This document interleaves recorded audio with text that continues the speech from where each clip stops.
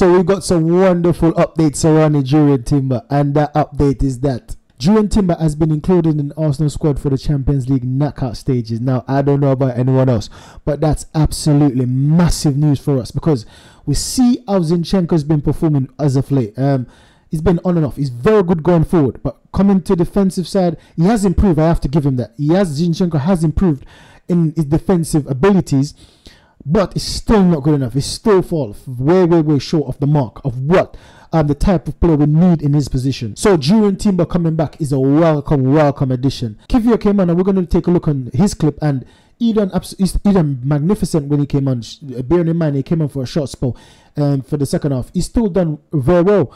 But Timber comes back isn't for me, Timber is one of the best left back slash right back in the league right now. Now, one might say that how can you be assessing him based off what you've seen in preseason? It's not just preseason, is what I've seen him done for Ajax also how you see him played against Man City. I know it's just one match, but you can see a quality player when he plays against a quality team. Now, it's hard to judge a player when he plays against rubbish teams, but when you see a, a player um, plays against a quality team and dominate that match against very, very good players, as what he done against City, you have to put your hands up and say that this guy is very, very good. And I don't think anyone in the Arsenal fan base will say that Julian Timber is not a quality player. So this is a welcome addition. And if he's gonna be back in the knockout in, in, in the in the squad in the knockout stages, that's two matches away. So we've got West Ham next week. We've got Burnley on the 17th, which is a Saturday, Saturday after, and then we've got uh, Porto, which is in the week, the 21st. So he's gonna be back for Porto. So if he's back for Porto, he's going to be in the squad for Porto. He could be in the squad against um, Burnley. I'm not saying West Ham. West Ham might be a bit short, but it might be in the squad of, for Burnley. And even if he's not in the squad for Burnley, guess what? Guess what match we've got after Porto? We've got Newcastle, and he's definitely going to be in the, in the squad for Newcastle. Now, Newcastle, I know, has been performing very bad of late, but we can't we can't keep Newcastle down because they've got very good player. We can't um, basically underestimate them. They're one of the reasons why we failed last season. They're one of the, the teams that basically kick uh, uh, kick us in the in the basically in the nuts when we're down. They were one of those teams, right? And so we can't take them for granted. We can't. They've once you've got quality players in the team, you can bring some performance out of nowhere, especially if the individual players are very motivated to play a particular team.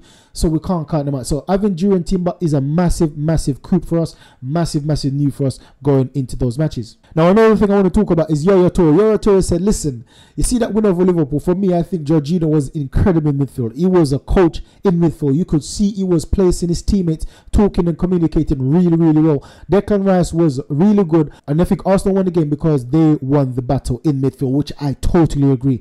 Arsenal are still contenders. They are showing that because every team has to count on them. Now, this is what I'm saying. That listen, the midfield midfield is what won us the game um, um, on Sunday.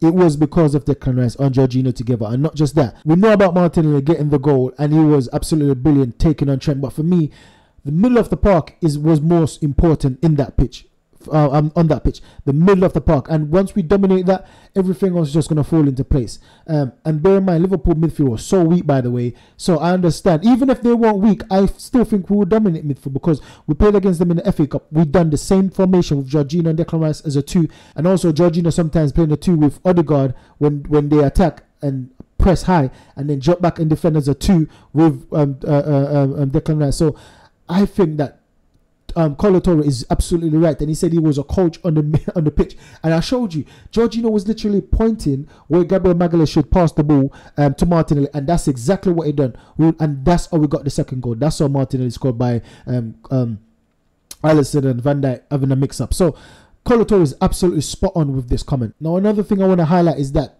this guy, this guy, Bukayo Saka only three players have provided more assists than Bukayo Saka across Europe's major league in all competitions since August the 22nd. So cool that one and a half season, right? One and a half season. Um, so we see Kevin De Bruyne at 32, we see Antonio Griezmann at 25, Salah at 24, Saka at 23, Vinicius Junior at 23. So Saka and Vinicius Junior are on the same amount of assists. Bear in mind, Saka has not been having a good season. So if he had, if he was having a good season, I would give him about three or four more, and that will basically bring him above Griezmann, which probably be in second place. I wouldn't give him ten. Um, to be competing with De Bruyne, but I will give him a bit more to because we see that when he plays, he's normally getting assists. Especially last season, he he was the man on form. But this season, he's been of a slow burner.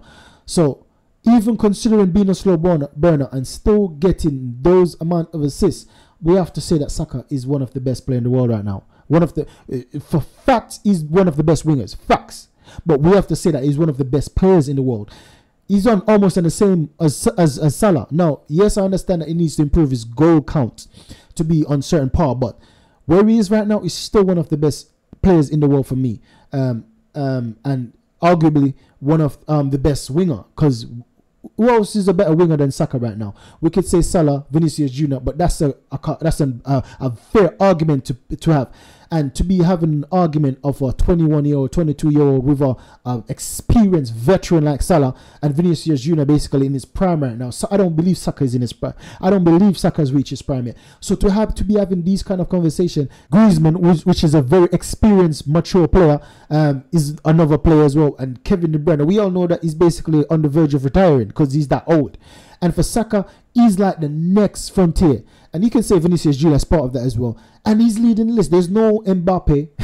there is no Mus- Musiala. There is no Pedro. Pedro. The Pedri. There's no one like on in this category right now. So there's no Foden, right? So uh, that's what I'm saying. That we have to give Starboy the credit he deserves, even when having a bad season. He's still performing. He's still, he's still got a goal against Liverpool, even though he's not performing well. So you can see that when he's on fire, when he's on fire, he's gonna be burning everything down. That's my star boy. So I want to big up Saka, big up Saka always because even when he's down, he's still up.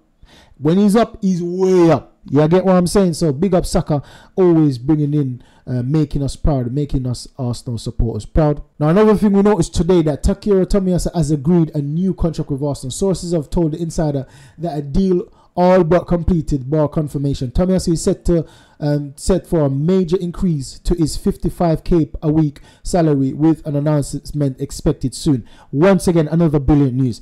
Tomiyasu for me is one of our um, Arsenal um, favorite um, defenders.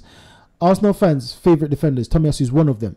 Um, well, it's hard to say one of them because every defender I don't see one defender any fan would dislike right now, apart from Cedric, which we don't count Cedric in the team. But everyone loves Ben White. Everyone loves Saliba. Everyone loves Gabriel Magalhaes. But uh, everyone, um, I think the, the, the, fans rather Saliba than everyone else. If you're going to have favorites, I think Saliba is a fan favorite above everyone else. And I think Timber is gradually, if he continues um, the way he started, he will be above Saliba. I can see that already. But um, Kiwior is the weakest, I would say, amongst everyone. I know that Zinchenko is very weak at defending, but he's still a very good player. And because he's very good at attacking, most fans would rather him than Kiwior. So I would say Kiwior is, is the lower on the pecking order, with um, Zinchenko being second to last. But Tomiyasu is above that. Tomiyasu, when he performs, he's second to none. No one can be on Tomiyasu's level on his day. You have to play very, very well to be competing to Tom uh, to, to, to Tomiyasu on his day. On his day is one of the best left back, right back in the league, right? So Tommy Tomiyasu for me signing a contract extension I'm happy with. Now, once again, this is not confirmed yet, but all of the reports from the other day have been saying that listen, the t- the clubs um, the club and his, his agent and his, his, his entourage basically are have having dialogue and it looks positive.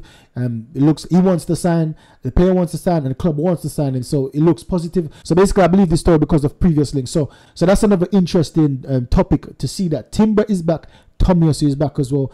And Thomas Partey is basically back, but he got a niggling injury the other day. And man, I'm happy Jorginho is performing the way he is right now because so with Timber coming back in the team and Jorginho plays playing the way he's playing right now, I don't see I don't I'm not scared of anyone. In the Champions League, I'm not scared of anyone in the Premier League.